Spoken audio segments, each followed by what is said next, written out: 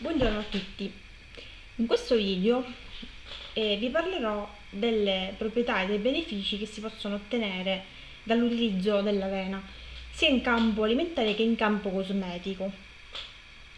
E quindi mh, mm, prepareremo insieme una crema mani eh, per pelli secche all'avena e poi prepareremo eh, anche mm, un'ottima colazione. Eh, quindi invece in una seconda parte del video vi, ehm, vi spiegherò anche come preparare una eh, tintura o estratto idroalcolico di, eh, di avena e una maschera viso.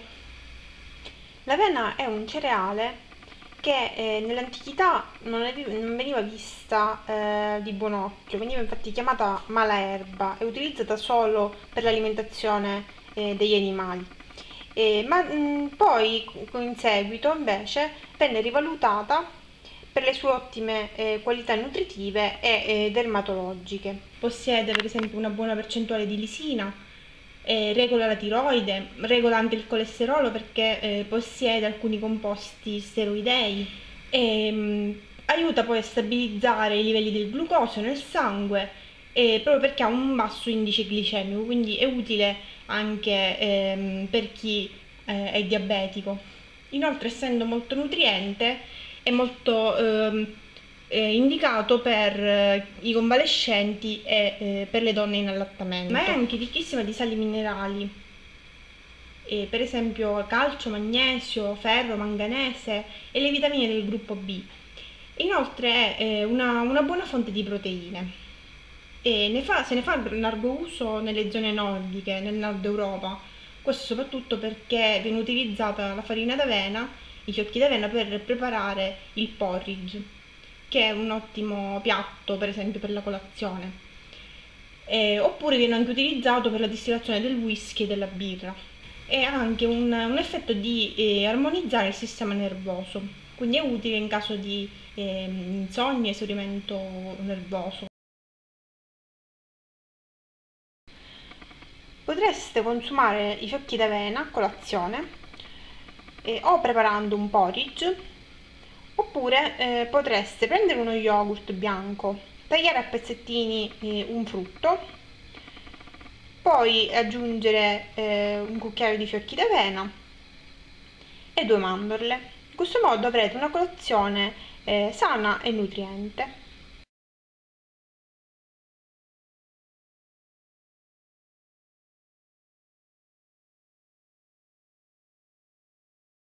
Per quanto riguarda invece eh, l'uso in cosmetica, eh, l'avena ha un'elevata dermocompatibilità, per questo è eh, largamente impiegata eh, in molte forme cosmetiche, per esempio in paste eh, come quelle per esempio eh, che vengono utilizzate per i bambini, ehm, ma anche diciamo, tutti quei prodotti che servono per cuti delicate, arrossabili, eh, proprio perché ha proprietà idratanti e lenitive.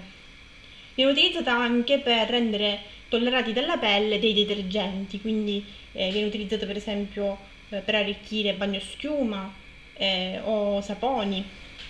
Quindi mh, mm, diciamo può essere utilizzata eh, per preparare tutti quei cosmetici adatti a pelli delicate, eh, facilmente arrossabili, ma anche pelli con tendenza acneica eh, o anche eh, pelli mature, prodotti dopo sole, emollienti per pelli secche, sensibili, irritate, e diciamo ha tutte queste eh, proprietà, proprio perché ha un potere eh, filmogeno, quindi applicato sulla superficie della pelle eh, la eh, copre quindi dai agenti chimici e fisici esterni e dà anche un piacevole tocco morbido e vellutato alla pelle. Dunque con ehm, l'avena ho preparato questa crema mani.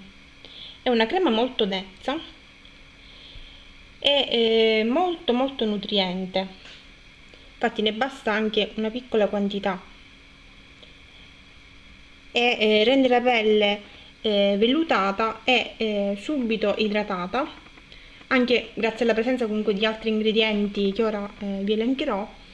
Ehm, quindi è adatta a eh, pelli secche, eh, pelli mature, eh, ma anche pelli delicate quindi è un'ottima crema per esempio da utilizzare per le mani durante l'inverno. Per preparare questa crema, oltre eh, all'avena, ho utilizzato una eh, piccola parte di eh, cera d'api.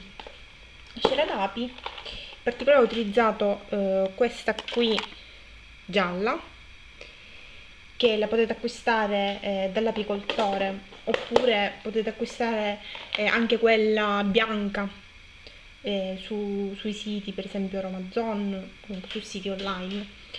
Eh, la cera d'api è molto utile perché contribuisce a ricostruire i lipidi presenti sulla, sulla superficie della pelle quindi ehm, aiuta la pelle a acquistare la sua funzione eh, di barriera. E veniva utilizzata già eh, nell'antico Egitto la cera d'api per preparare delle creme. E venne poi utilizzata anche eh, dai romani, per esempio il medico Galeno aveva creato proprio una crema a base di cera d'api che poi fu trasformata in quella che eh, oggi viene chiamata cold cream. Quindi ha eh, proprietà molto utili per il trattamento di pelli secche e irritabili. E, oltre alla cera d'api eh, ho utilizzato anche il miele. Il miele abbiamo visto nel, nel video precedente eh, le qualità che possiede mh, per il trattamento dei capelli. Per quanto riguarda la pelle, vediamo che ha proprietà comunque lenitive, antinfiammatorie, idratanti e anti-invecchiamento. Eh, quindi per questo l'ho aggiunta alla preparazione. Poi ho utilizzato l'olio di nocciole. L'olio di nocciole è eh, molto utile per ingiovanire la pelle. Contiene infatti vitamine A, la vitamina E, acidi grassi, quindi è utile eh, anche per pelli irritate e pelli sensibili. Ha infatti ottime proprietà antinfiammatorie e cicatrizzanti eh, per curare anche le pelli secche. Quindi in una crema mani eh, ci stava benissimo, per questo l'ho aggiunta. Ho aggiunto anche eh, l'olio di mandorle dolci, eh, che mh, mm, è l'olio diciamo, più conosciuto per ammorbidire la pelle, per idratarla, ehm, anche soprattutto per pelli secche e sensibili. Ho utilizzato il burro di karité per la sua azione idratante e lenitiva, soprattutto per le pelli secche, eh, pelli sensibili, infiammate, eh, ma eh, utile anche per promuovere il rinnovamento eh, delle cellule e in caso di, eh, per esempio, mh, pelle irritata, eh, quindi può essere usato per piccole ferite. Per questo l'ho utilizzato nella crema mani, dato che magari in inverno è possibile che eh, la, pelle, la, pelle, si spacchi un po'.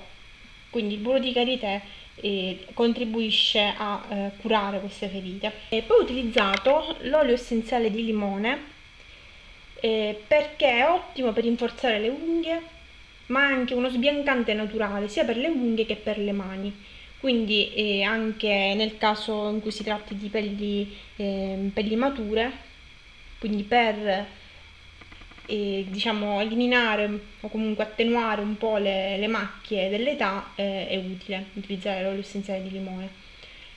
E poi ho utilizzato il Cetiol Sensoft, ehm, che è un olio sintetico, però ne ho utilizzato una piccola, una piccola percentuale perché rende la, mm, la, crema meno untuosa e dà un tocco diciamo più setoso alla crema. Poi ho utilizzato il Dry Flow, questa polvere, si tratta di un amido modificato che serve per dare un effetto asciutto e setoso alla crema eh, infatti assorbe l'eccesso di, eh, diciamo, di unto, di lucidità della crema. Eh, è liposolubile, quindi per, prima di aggiungerlo alla crema va stemperata in un po' di olio o eh, in un po' di crema. Per dare poi una eh, profumazione di eh, miele e limone alla crema, quindi oltre all'olio essenziale di limone ho aggiunto anche qualche goccia di ehm, questa fragranza al miele che ho acquistato sul sito Amazon. Quando riguarda la tecnica eh, con cui ho preparato questa crema, eh, diciamo ho voluto mm, provare una, una, tecnica francese che eh, si chiama Wampo. Questa tecnica prevede mh, mm, di utilizzare un'unica fase, quindi di eh, mettere a bagnomaria eh, sia oli che ehm, fase acquosa eh, per quindi evitare magari di, eh, di, utilizzare più contenitori e eh, perdere anche più tempo. Diciamo che è stato un esperimento proprio perché ehm, diciamo è una tecnica che sì da un lato fa utilizzare meno, eh, meno contenitori per esempio ehm, rende il processo più, mh, mm, più semplice e comunque più, più rapido. Però dall'altro eh, ci sono degli accorgimenti da seguire. Prima di tutto non tutti gli emulsionanti vanno bene bisogna utilizzare eh, alcuni tipi di emulsionanti. Per esempio io ho utilizzato il lame creme eh, ma eh, ho letto che anche l'olive mille va bene. Però se ne deve usare una percentuale maggiore rispetto a quella che eh, useremmo ehm, preparando una crema normalmente proprio perché eh, c'è la, la, possibilità che eh, non, le due fasi non si uniscano quindi bisogna aggiungere un po' più di emulsionante inoltre non possiamo aggiungere per esempio quegli oli termolabili come possono essere ehm, gli oleoliti eh, perché eh, ovviamente si rovinerebbero eh, messi a bagnomaria. E nel sito francese che ho, ehm, che ho trovato mh, mm, si dice che eh, raggiunta la temperatura di 40 gradi possono essere aggiunti eh, i vari attivi. Però io comunque ho aspettato che la crema si raffreddasse e ho sempre eh, mescolato bene perché il rischio comunque che le due fasi si separino è molto alta. E ho evitato anche di aggiungere comunque altri oli nella fase C, cioè nel, eh, nel momento in cui la crema era fredda. Ho solo aggiunto eh, qualche goccia di olio essenziale e eh, la fragranza. Adesso possiamo passare alla preparazione della crema. vi posso dire che è una crema molto nutriente, oltre che sulle mani eh, potete utilizzarla anche su parti del corpo molto secche eh, per esempio eh, sui gomiti o sulle ginocchia o comunque eh, se avete pelli molto secche eh, anche in altre parti del corpo.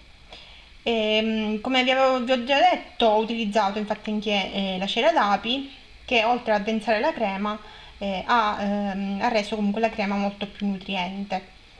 Come sempre vi ricordo di eh, pulire e sterilizzare sempre eh, i vostri strumenti con alcol alimentare e di fare sempre un test allergico eh, prima di utilizzare i prodotti. Quindi applicate una piccola parte sul polso aspettate 24 ore e se non si sono verificati fenomeni allergici allora eh, potete utilizzare la crema